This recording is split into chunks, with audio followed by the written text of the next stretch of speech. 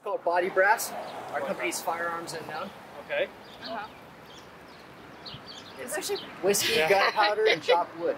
Whiskey, No gunpowder, and chopped wood. gunpowder, that's and really chopped good. wood. Yeah, Yeah, you that dig is it? really good. Let's I give dig another it. s- I'll get one more.